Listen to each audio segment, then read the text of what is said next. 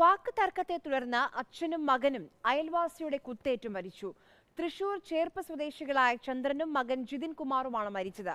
പ്രതി വേലപ്പനെ ചേർപ്പ് പോലീസ് പിടികൂടി. എം എസ് ലിഷോയ് തയ്യാറാക്കിയ റിപ്പോർട്ടിലേക്ക്.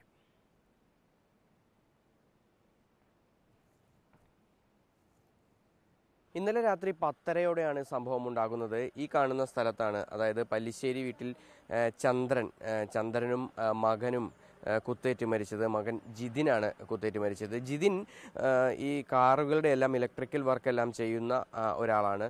വീടിനടുത്ത് വെച്ച് മറ്റൊരാളുടെ കാറ് ഈ കറുപ്പ് നിറത്തിലുള്ള കാറ് അതിൽ ഇലക്ട്രിക്കൽ വർക്ക് ചെയ്യുന്നതിന് വേണ്ടി ജിതിനെ വീട്ടിൽ നിന്നും വിളിച്ചു കൊണ്ട് വന്ന് ഇവിടെ ഈ ഒരു സ്ഥലത്ത് വാഹനം പാർക്ക് ചെയ്ത് ആ ജോലികൾ നടത്തുകയായിരുന്നു. ആ ഒരു സമയത്താണ് ഈ പ്രദേശവാസിയായ വേലപ്പൻ ഇങ്ങോട്ടേക്ക് എത്തുന്നത്. വേലപ്പൻ ഒരുപാട് ക്രിമിനൽ കേസുകളിലെല്ലാം തന്നെ പ്രതിയായ ഒരാൾ കൂടിയാണ്.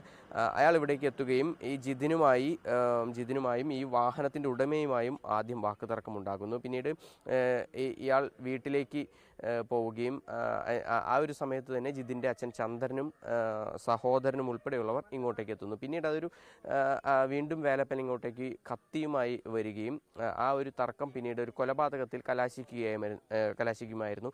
അച്ഛനൊക്കെ അങ്ങനെ ഉന്തും തള്ളായി അങ്ങോട്ട് പോയി പൊക്കോന്ന് പറഞ്ഞിട്ട് അതിന്റെ അവസാനം ഉന്തും തള്ളി. ഞങ്ങൾ മൂന്ന് പേര് ഉന്തും തള്ളായി എന്നിട്ട് അയാൾ ബാക്കിൽ നിന്ന് കത്തി എടുത്തിട്ട് ചേട്ടന്റെ കഴുത്തിൽ കുത്തി അച്ഛന്റെയും പള്ള വയറ്റിൽ കുത്തി.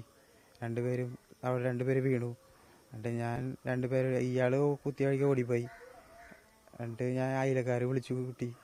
ഇവിടെ വെച്ചാണ് കുത്തേറ്റ് രണ്ടു പേർക്കും കുത്തേറ്റത്. ഉടൻ തന്നെ നാട്ടുകാരുടെ എല്ലാം സഹായത്തോടു കൂടി ഇരുവരെയും ആശുപത്രിയിലേക്ക് എത്തിച്ചെങ്കിലും ആശുപത്രി എത്തുന്നതിന് മുൻപേ തന്നെ മരണം സംഭവിക്കുകയായിരുന്നു.